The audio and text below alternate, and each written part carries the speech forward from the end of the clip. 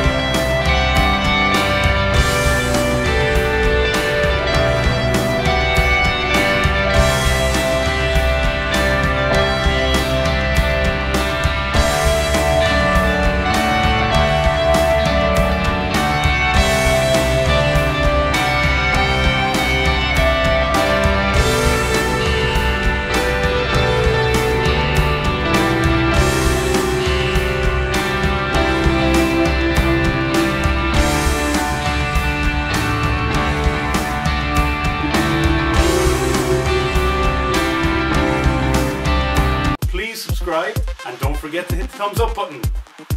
See you later.